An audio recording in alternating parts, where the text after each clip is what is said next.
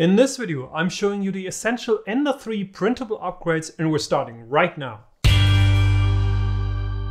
Hello, my name is Daniel. Welcome to the Crosslink channel. I would like to help you being more successful with 3D printing. And if you're here for the first time, subscribe and hit the bell notification icon so you don't miss anything. The Ender 3 has become pretty popular these days, so I'd like to share my thoughts with you about the most important upgrades which are printable and cost you almost nothing except a little bit of filament and in one case just a small piece of PTFE tube. Also make sure you stick around until the end of the video because I'm giving away an Ender 3 or an Anet A8 by the end of July 2019. Let's begin with a little story about a project that I've recently started. This 3D printed teleprompter. Now this is a 14 hour print even after several rounds of optimization. My first print on the Anet A8 was successful but I needed to scale up a little bit and I switched over to print this on the Ender 3.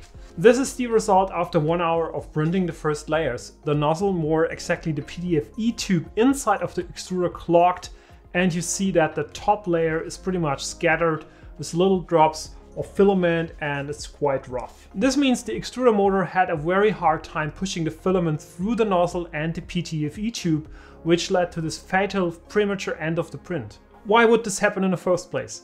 Let's have a look at how the Ender 3 Bowden extruder works and what parts are coming together at the hot end. First we have the extruder motor here pushing the filament into the PTFE tube which then leads to the hot end where it goes into this Bowden fitting and then into the throat of the nozzle. Now watch close what happens to the PTFE tube when the extruder is being pushed along the x-axis like this.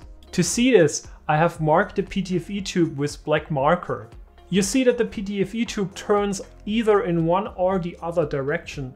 Now this is unavoidable because of how this whole Bowden extruder is set up and placed, but what are the consequences? Now because of the constant movement of the PTFE tube in this fitting, it can slowly start to move up over time. And then if you have a lot of movement and also a lot of retractions of the filament happening during the print, it can happen that half fluid filament gets up to the spot that has just opened between the throat and the PTFE tube and squeeze into that opening as soon as the extruder motor starts pushing filament into the extruder again. And this leads to a clog above the throat and inside of the PTFE tube end.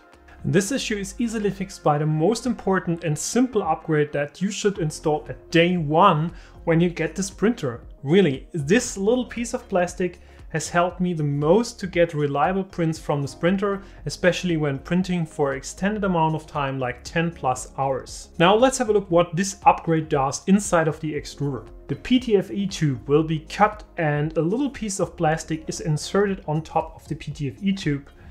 That part stays inside of the extruder. It's now independent from the upper part and then the lower part of the PTFE tube is being pushed down by the fitting to keep it inside of the extruder and pushed against the throat of the nozzle. If that upper PTFE tube now moves or even loosens a bit and moves up a little, it's not an issue because the insert pushes still down that lower PTFE tube. Problem solved? The second upgrade is also regarding this PTFE fitting issue to prevent the upper PTFE tube from coming out. So how is this done? The PTFE insert has a little ring that you can push down to release the tube and pull it out. So this ring moves up and down when the extruder does extract the filament.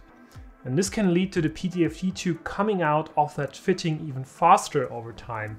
To prevent this, you can print out a little spacer clip that is inserted between the ring and the fitting to prevent the ring from releasing the PTFE tube.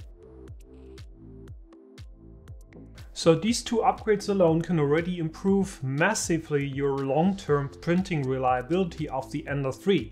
So make sure you start with those and then tackle the rest of the issues. Next we're gonna take care of the basics of cable management. Sooner or later you will start printing taller things, not just small benchies, but really large prints that also make your Z axis move up much more. Without doing some minimal cable management, you could run into the issue that the cables that run from the extruder to the electronics case will interfere with the cables that run from the heat bed to the electronics case. And in the worst case, these cables can cross and block the heat bed or the X and Z axis from moving, and so it will ruin your print. So this is especially bad if you're already printing the upper part of a larger print and this has been already going for many hours. I recommend that you route the extruder cables to the left using this upgrade cable holder that is mounted to the Z-axis motor. It will hold the cables to the left and prevent them from crossing with the heatbed cable. Another issue fixed, again more reliability. Now let's have a look how the filament is routed into the extruder in the first place. If you look at how the default setup of the filament spool feeds the filament into the extruder, you notice that the way how the extruder pulls down the filament from the top spool, there can be a pretty small bending radius of the filament, so it rubs against the plastic parts of the extruder and could cause that plastic to wear over time. Additionally, the filament runs very close to the Z-axis lead screw and so can rub against the lead screw resulting in filament dust landing in the lead screw and potentially blocking the lead screw from moving. This little upgrade just needs a small piece of PTFE tube that normally costs less than $1 per meter and it helps guide the filament away from the lead screw and with a much better bending radius from the filament spool. Additionally, you can also print this filament guide that helps even more to guide the filament down to the extruder in a much better angle. Now let's talk about the cooling duct. From my experience, the standard cooling duct that comes with the printer is okayish, but the airflow could be more directly pointed at the printed parts and so cool down the hotspot even faster. Therefore, I added the Mistral extruder cooling duct to the list of upgrades. It's a simple swap out upgrade of the default cooling duct, releasing two screws and putting the new cooling duct on again. The next upgrade tackles a small but potentially critical problem, especially if you use this printer for a lot of prints with overhangs and retractions when there could be stringing happening. What could potentially be dangerous about these little plastic parts? When they fall down from the nozzle or from the printed part, they usually get blown to the left by the cooling duct and then will fall from the heat bed. They mostly will land on the left hand side of the electronics case, but some of those filament strings are really thin and lightweight. If the cooling fan of the electronics case is sucking in those parts, the fan can get stuck over time and this could lead to the electronics to overheat. You might be wondering, for example, why you suddenly get layer shifting and it could be because of the stepper drivers getting overheated as the electronics case fan has failed. So let's apply a cover for the fan that reroutes the airflow so it gets taken in from the front of the electronics case, which is not prone to small filament strings falling down to. My last recommendation is to print out a fan silencer for the power supply fan. It can get really loud and the silencer is pretty effective in reducing that noise. Unfortunately the extruder fans are still pretty loud because they seem to be very cheap and cause constant noise from vibrations. I think the only way to fix this noise is to buy more expensive fans that are much better balanced and have ball bearings. By applying all these upgrades you will be sleeping better when printing and definitely get better results more reliable. Links to all the Thingiverse parts and a collection of my favorite Ender 3 upgrades are in the description down below. Please leave a comment what your favorite upgrade for the Ender 3 is to share what works best for you. Now let's come to the giveaway part. I'm giving away either an Ender 3 or an Anet A8 3D printer by the end of July 2019. It's not sponsored by anyone but myself. If you win, you can decide which printer you want.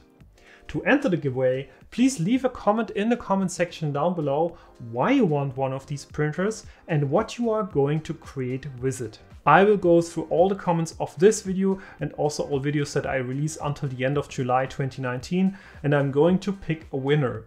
Leave your Twitter or Instagram alias so I can contact you directly and I'm going to announce the winner in the first video in August 2019. If you think this video was helpful, like and subscribe and if you really want to support me creating this kind of content for you, consider becoming a supporter on Patreon. It's linked in the description. See you next time.